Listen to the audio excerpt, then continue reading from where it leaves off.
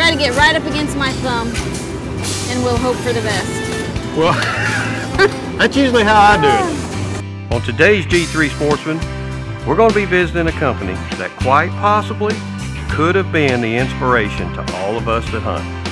And also, throughout the show, we're going to be spotting and stalking one of America's most sought after entrees. Mm-hmm. We'll be bringing back some old memories for some of you. There he is, Red Ryder himself. The holy grail of Christmas gifts, the Red Ryder 200 shot range model air rifle. And hopefully, inspiring some new hunting enthusiasts. Let's get it started. I lost him. Give me my fish. He fell off. Well, that thing pulled twice as hard as a silver. Look at this catfish. oh, you got to catch one.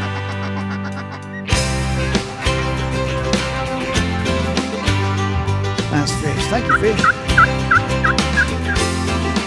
That's what I'm talking about. Get you some of that.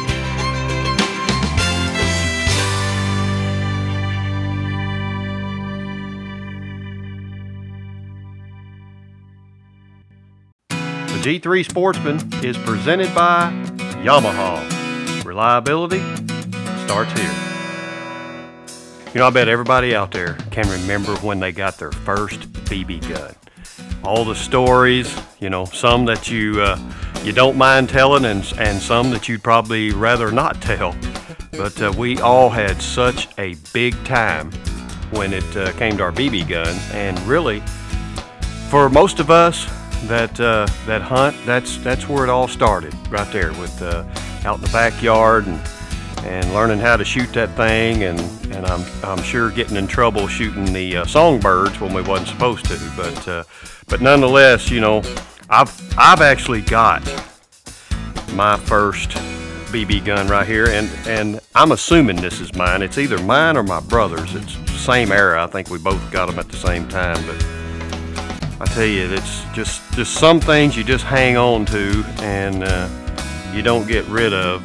But uh, the majority of you guys out there, I guarantee you, your first BB gun like this would probably be made by the company that we're going to be visiting today, and that's the Daisy BB plant in Rogers, Arkansas.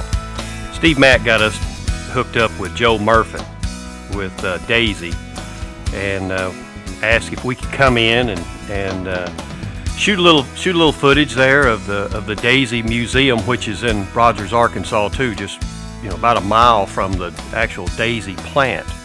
And this is where all the history of the Daisy BB guns are, and and uh, it, it's it's a really it's a really cool tribute to such a such an American treasure. The mission of the Daisy Museum in downtown Rogers, Arkansas is to preserve this tremendous heritage and uh, history of the Daisy Company, the Daisy BB Gun Company.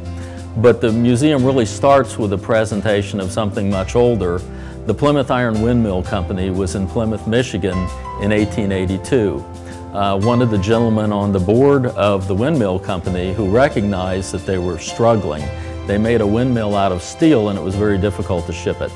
And uh, he recognized the company was struggling and he himself designed and made a little air gun, an all-steel air gun, which today we call a wire stock gun.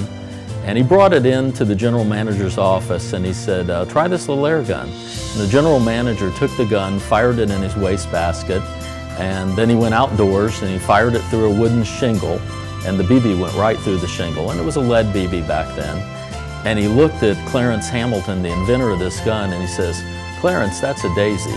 And, and, that was kind of the saying back there. Today kids would say, boy, that's cool, or that's radical, or awesome, but the saying back then was, it's a daisy. While Daisy is an old company, over 120 years old, they certainly didn't invent air guns. And some say that mechanical air guns date back to the late 1570s, uh, 1600s, and we have in the museum some examples of those antique air guns. Now many of these would be 30 and 40 caliber air guns, which were pumped up either using an external pump or some had a, a bellows system with a crank built into the stock of the gun. But these would have been very powerful air guns used for hunting and even in military applications.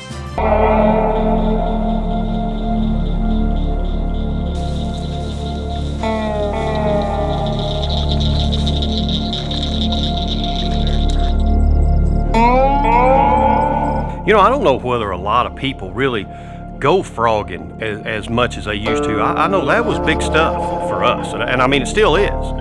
And and really, there's there's no better table fare than frog legs. I mean, come on, you go to a restaurant, you're gonna be paying some high dollar for some frog legs now. But uh, really, they're worth every penny. But when you could go out and get them yourself and clean them, fry them up, man, ain't no better groceries than that right there. And uh, this little episode right here, uh, we hooked up down in Bolivar, Missouri with our own team member, uh, Rick Lowry, and uh, got in with buddies Jake Jacobson from there Bolivar and his son Bo. And uh, hey, this was this was our nighttime Ozark safari right here. I mean, that's a good one. Now, if he if he measures now, I, I don't I get kind of some credit on that. I hear you. Good job, Bo got him on trail camera this year. You got him on yeah. the trail camera? Yeah. Who's got the sack? I do. Are you, you're the sack man? Yeah. we got him on trail camera.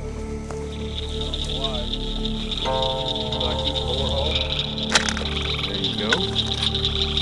Yeah. Shoot, yeah, that's a dang gum good frog right there. Boy, he fooled us, didn't he? Yeah. Nothing wrong with that frog. Take anytime you want me to carry that sack off. Yep.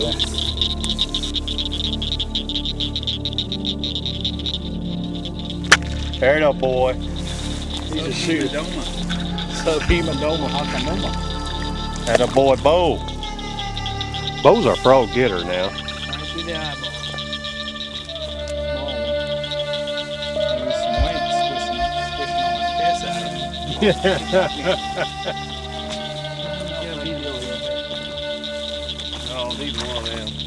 really frogging is just nothing more than uh, you know going out to really farm ponds or, or little old small rivers and creeks and ditches and stuff where they're where they're at. And usually hook up with several several people and got the lights going and the gigs and and all. Good job. Good job. Oh yeah. It's all gone right now. That's a good one and a boy Bo. hey, how about that spot, Bo frog. That was a good spot. That's the thing about this time of year, boy. We've had all this rain, everything growing up. I guess you missed that one under you right there, too. He, wasn't I hear him. There's one right over here You know, they all had the gigs and everything, but uh, I was going to try the little Red Ryder out. I was Right between the top of the eyes. Good shot. There it is. Go ahead and get him for me, what I tell That's you? a nice shot. Dead gum right now. Just like I used to do as a kid. Look at there, boys. Now that is a true boone and croaker. Now that's what I'm talking about right there. And y'all said that it couldn't happen with the with the Red Ryder. No, we wanted you to prove it. Well, I did. You proved her save the legs. You doggone right. Red Ryder strikes, boys, right there. For a lot of the people that come to the Daisy Museum, they're simply looking for the gun that they first had, the gun that they started with. I mean, we, we say it a lot that it all starts with a Daisy BB gun. For many, many people, that's a Red Ryder. What would you like for Christmas? Horrified, I heard myself blurt it out. I want an official Red Ryder Carbine Action 2-inch range ball arrow. You know, I never had a a, uh, a Red Ryder like this. That's that's really the most popular.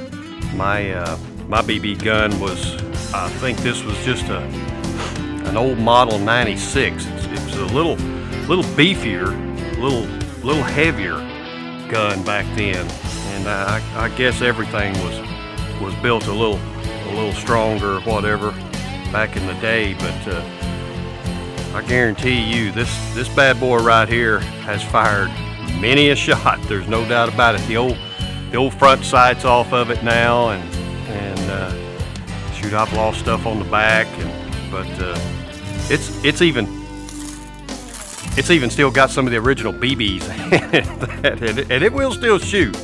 And in the museum, one of the things we have is a kind of a chronological order of all the changes that have taken place in the Red Ryder from 1940 when in March 1940 the first gun uh, rolled off the line, until today, and all of the different models and uh, changes that took place throughout its history. But basically, if you look at it today, it's the same gun it used to be. It's a Western carbine action, lever action gun with a solid wood stock and solid wood forearm. Still has the forearm band on it and still has the leather thong and the lariat ring. So now we're gonna go and over to another one of Jake's ponds right now, then, right? We're gonna get really serious here in just a little bit. Fix to get serious. Serious. The limit's eight apiece. You we got- got, a bounty on you them got for biggest BBs? frog. You got I got I got plenty of BBs. All right. We got plenty of gigs. Got a big enough sack. I'd say we'll do. Now well. we're fixing to get busy frogging. on three. One, two, three. Got him. There's mine. Yeah, go ahead and pump another one in him. Can you get him with where's the where's the grabber? Here, hang on. I left it in the truck. My gosh, Rick, you dug that and right in the ground. Look at there. Double. That's what I'm talking about. Double trouble. Heck yeah, look at that now. The Daisy Red Ryder, I mean, save the legs. Look at there. Easy to get up, pick up, and you just drop them in the sack. I think there was another one up What do you think about that? See? Oh, right here. Go buy me a. Red Ryder. Yeah. I'm gonna scope mine. You gonna put a scope on it? Little. Should be another one right here. You know, anytime you go to a museum, you get to see all the old stuff and all that. But you know, going to the Daisy BB Museum, you get to see the same guns that your granddaddy shot and you, and your dad, and then all the different styles of guns that they had even back in your era that you didn't even know nothing about. But Joe kind of he, he kind of surprised us when he said, "Hey, let's run over to the plant now and go through there," which I thought was going to be neat enough. But the big surprise was we was going to get to assemble our own Red Ryder BB gun. Now, now, now, that, now, now we're talking. All right, now we're here at the Daisy BB gun plant here in Rogers, Arkansas, and I'm here with Amy James, and we're going to build a BB gun. All right. Or am I going to build a BB gun? You're gonna build a BB gun. I'm going to build a BB gun, which this ought to be pretty good. I'm all thumbs. Put the front side in. Turn it over. And the Red Ryder goes down. Oh. And you're just gonna set it in there and line up the holes, All right, I'm going to have to go back on that. and we'll hope for the best. Well,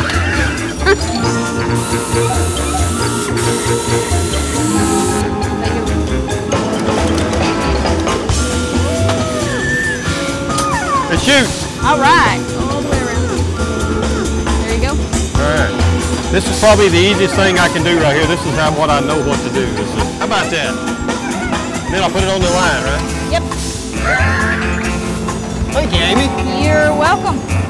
Am I hired? I don't know. I'm gonna have to have a little more. Yeah, a little more training.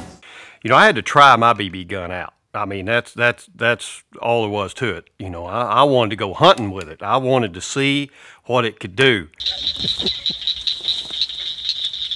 How cool is it to get to go out, go frogging with a BB gun, but then it's actually the BB gun that you got to assemble at the plant. Now that's cool stuff right there.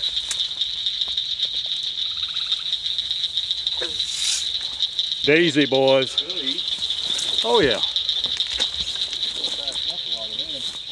We have, and they're them's good size. That daisy doesn't mess them up either. It's a good clean, good clean kill.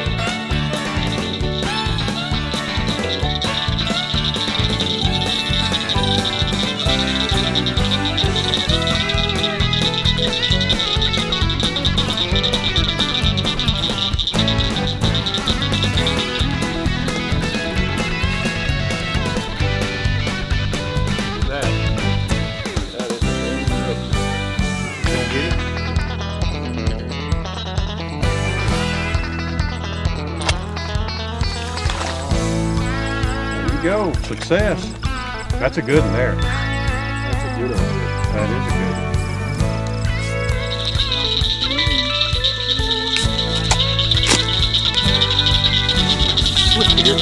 Look what I just did. Pull my boot. My foot comes out of my boot. yeah. Boy, oh, that dude is in there. You gonna check him out first, and then what are you gonna do? Put him back down in Giggy? Yeah, I'm gonna put him back down and gig. You gotta get the football stance, see? I was wondering what that stance is all about. Well, there. it's a 40 year old fat boy stance. Uh, You just snatch him up. well, I would say he's next year's pro. Yeah. He got, jumped right back on you. There he went. he got me back. He peed on you. Feed on me.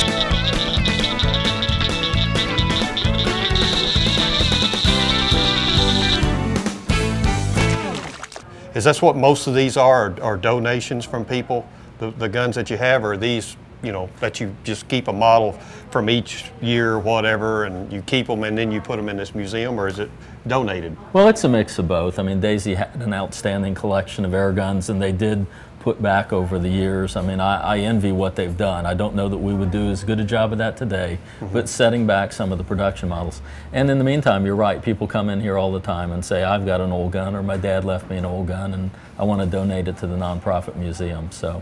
Well, Joe, you know, where we're at right here is, is pretty near and dear to me because I, I see the, the little Targeteer pistol. I guess dated Right. back like in the in the 30s. Yeah, And what I brought is my grandfather's You're kidding little me. Targeteer. Oh my gosh. Oh, we, we appreciate that. That's so good. Hey, That- I'm that's how for you to this have it. museum exists is people coming in and bringing their old guns and telling stories and looking for their old gun and Yeah. then You know, the Daisy BB guns I, I, are just as much American as baseball, apple pie, and Chevrolet, as far as I'm concerned. They, uh, they, they have been around for so long. They've, they've been a great company. They're just a, they're an institution here in this country. And, and if you guys are in the northwest Arkansas area, right around Rogers, you, you really should go by the Daisy BB Gun Museum. It is just a wonderful place. And you talk about will just open up your eyes to your childhood. It'll it'll man, it'll trigger some old memories and all, and you'll just have a blast in there. Right over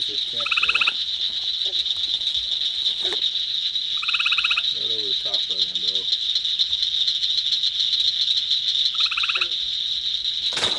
Good job. boy, Bo. Like shooting pool. That frog right there, boy. Look at the leg. There you go, Bo. Look at that. Okay. You killed him dead. too. Man, now that is a frog right there. This may not be for everybody, but the people that want to come out here and frog, I know you're thinking this is an awful lot of work.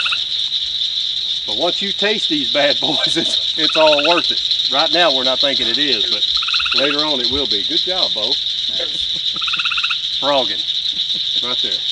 In addition to limited edition collectible guns and other collectible items in the Daisy Museum, this is probably the one place where you can find one of everything that Daisy makes in its current product line. And, and for Daisy, it all starts with a gun like the Daisy Buck. This is a lever action BB gun with a small profile that's um, appropriate for younger shooters. And from there, most shooters will move into the Red Ryder, which is again a lever action BB gun. Looks a lot like the one we looked at, the old ones from 1940. It's still got the forearm band, the leather thong, the wood stock with the Red Ryder logo stamped into the wood. Older shooters might appreciate something like a dual ammo Grizzly, single pump pneumatic, maximum of 300 feet per second velocity. And the Grizzly comes in either black or mossy oak camo pattern, and this gun will shoot either BBs or pellets. For, for pest control or small game hunting, you can't beat a break barrel. And Daisy makes brake barrels both under the Powerline brand and the Winchester air rifle brand. With a break barrel rifle, with just one cock of the barrel, you can achieve up to 1,000 feet per second velocity. And with a pointed pellet, that's perfect for small game hunting. We've all had BB guns. We've all had Daisy BB guns. Yeah. Me and you're in the That's how we same started. generation. That's right. And, uh, you know, this is just a neat place to come back and, and, and relive our youth and, and see some of the stuff that not only did we have our parents, our grandparents, and then probably their parents Yeah. in, uh, in the lines of BB guns. And it's really just a neat, neat place. And I'm glad you were very, very nice to uh, come in here and, and take time out of your busy day just to show us all about the Daisy, uh, the Daisy past, present, and future. Really Well, nice. thanks for being here too. I appreciate it. Thank you very much. Yes, sir. But anyway, I hope you enjoyed today's show. We we had a, a big time doing it. The frogging was fun. Thanks to all the guys there and uh, and to Joe and uh, all the all the folks over there at the Daisy plant. You know, we had a big time. And uh, but we're out of here. But just remember, we'll be doing something somewhere next week, right here on the G3 Sportsman. Thanks for watching. Shoot my Red Ryder again.